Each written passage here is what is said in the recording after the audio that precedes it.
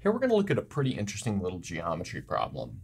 So what we have is a circle. I've given that circle a radius of r, so this is kind of arbitrary.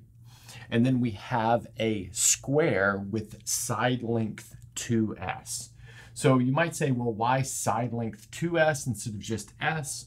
Well, I think you can think about the side length as being something similar to the diameter of the circle instead of the radius of the circle. So this would be like the radius of the square being equal to s. I just think that makes everything work out a little bit better. And our goal is to find the intersecting area. In other words, the bit that's inside both the square and the circle. Okay, so let's maybe get to this. So I'm going to put this into a coordinate plane and then we'll use symmetry to simplify it a little bit and then work from there. So maybe we'll put the origin right here. So that means something like this will be my y-axis. Something like this will be my x-axis. And really all I need to do is find the area that's happening up here in this first quadrant and then multiply it by four. Well, let's notice that this picture breaks up into three kind of obvious pieces. So it breaks up into a triangle like this, and then a similar triangle up here. We can argue that that is similar, again, just by symmetry. And then this thing right here, which is a sector of a circle. So that means we need to do three things. We need to find the area of this triangle, the area of this triangle, and the area of this sector of this circle. So let's maybe go ahead and give this thing angle theta. And finding that angle theta will be a really important step along this process. Other important step will be finding this point right here as well as this point right here. Okay, well, let's maybe see how we can do that. Let's first notice that using our coordinate system, since this circle is centered at the origin and has radius r, it has equation x squared plus y squared equals r squared. Great. Some other things that we notice are that since this square has side length 2s, the x value along every point on this vertical line of the square is equal to s, and then the y value is variable. That y value is going between negative s and positive s. And then similarly up here, the y value is fixed at s, and the x value is ranging between negative s and positive s. So what does that mean? Well, maybe most importantly, that tells us that this coordinate right here has x coordinate s and y coordinate something that's unknown. I'll maybe call that y naught. Great. Then similarly, this y coordinate up here has and then similarly, this point up here has x coordinate unknown. I'll call that x naught. And then it has y coordinate s. Okay. And so they're built like that because they're on the square. Now we want to use the fact that they're both on the circle. So let's do that. So x naught s and s y naught are on our circle.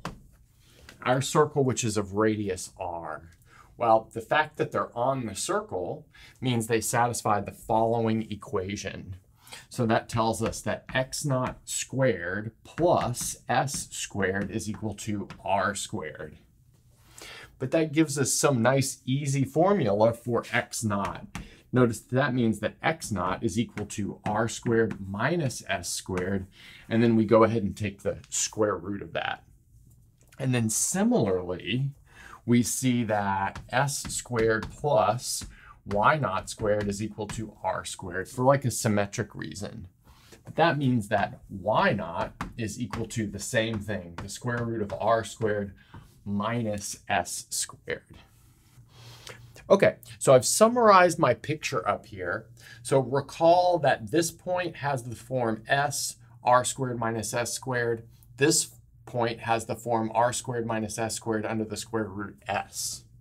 So that tells us that this triangle down here in the bottom has base s and it has height r squared minus s squared. And similarly, this triangle up here in the top is essentially the same, but the parts are switched. So that means we can start calculating the area of our goal region, which as we discussed before, was the area of this happening in the first quadrant multiplied by four.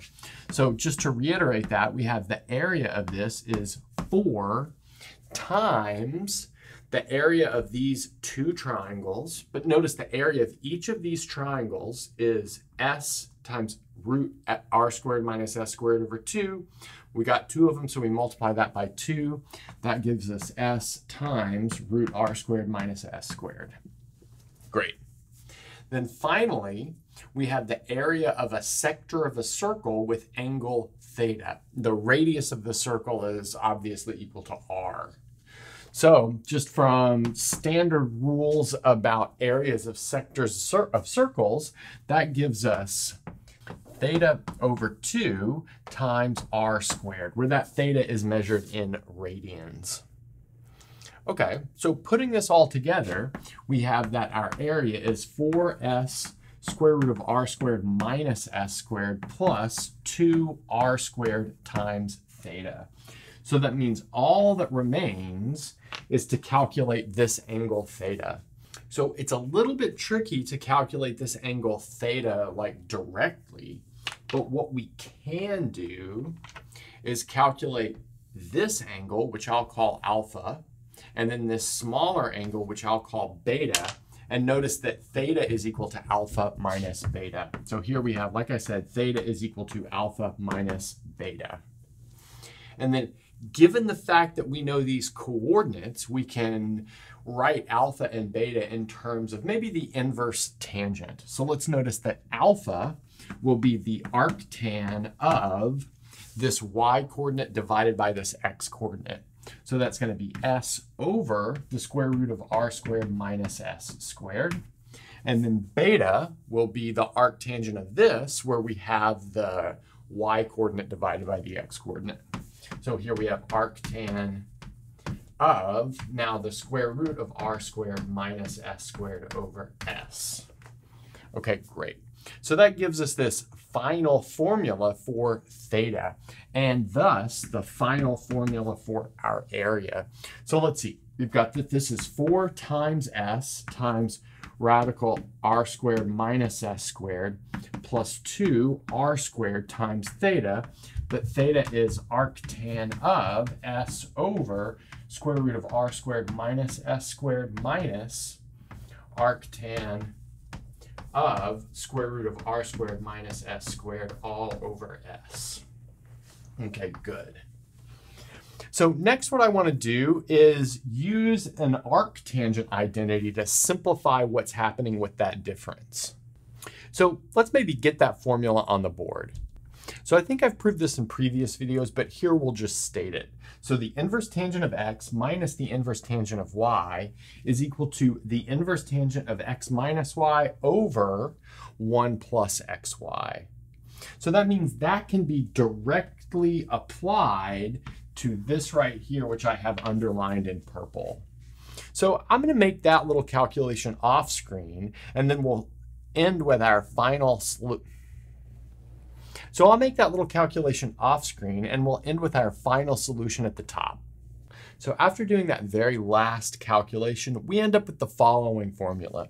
So we've got our area is 4 times s times square root of r squared minus s squared plus 2r squared times the arctan of this object right here. So we've got 2s squared minus r squared over 2 times the square root of r squared minus s squared. Now, we could just leave it like that, but I'm going to give you guys a little bit of a homework exercise.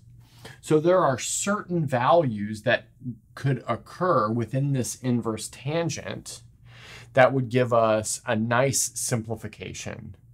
So maybe let's try to look for some values of r and s that will make this simplify nicely.